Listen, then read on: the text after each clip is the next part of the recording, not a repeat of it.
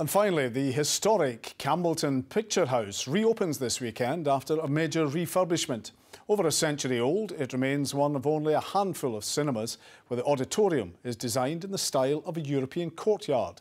As Clare McNeil finds out, these features have been restored to their former glory, with a few modern additions too.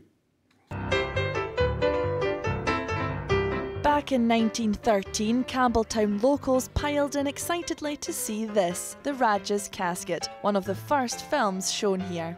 It made a huge impact on this remote Scottish peninsula and meant people could, for the first time, go to the cinema in their hometown. The man behind it was Peter Armour's grandfather after he saw how successful cinema was in the cities. It was then run by his father before he took it over himself in the 70s, when a movie ticket cost just 60 pence. When Grease came out, this was going to be one of the big movies of the year.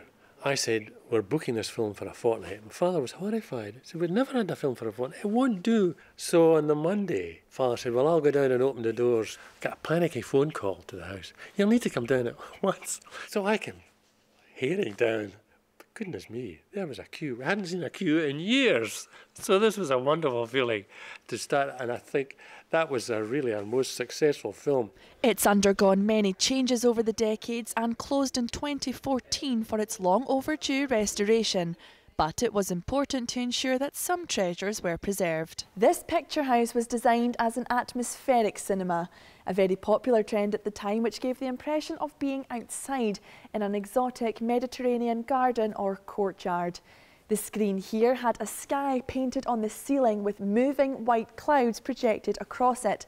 And on either side of the screen were structures known here as weehooses. The atmospheric interior is terribly important across the world. There are very, very few that are left that are operating. To have one and to be able to make it uh, feasible to restore it.